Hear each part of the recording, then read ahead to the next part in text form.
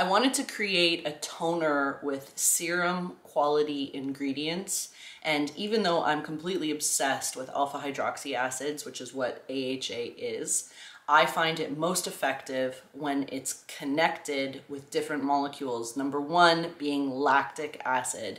Lactic acid is one of those magical ingredients that works for all skin types to make it look more healthy. We even mixed in some niacinamide in with the lactic and the AHA. So this is like your triple threat serum quality gel toner. You know that top layer of skin that sometimes looks and feels a little bit dull?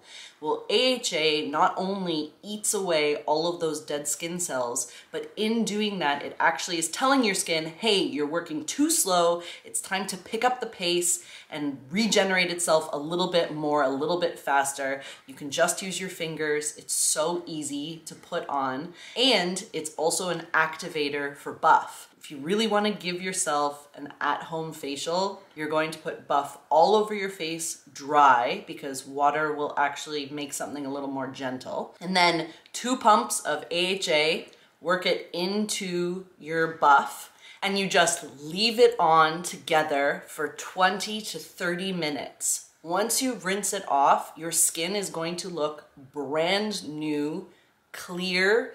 You'll see redness really dissipate your pores are going to appear smaller because it really is great at undilating the pore and really eating all of that dead skin cell.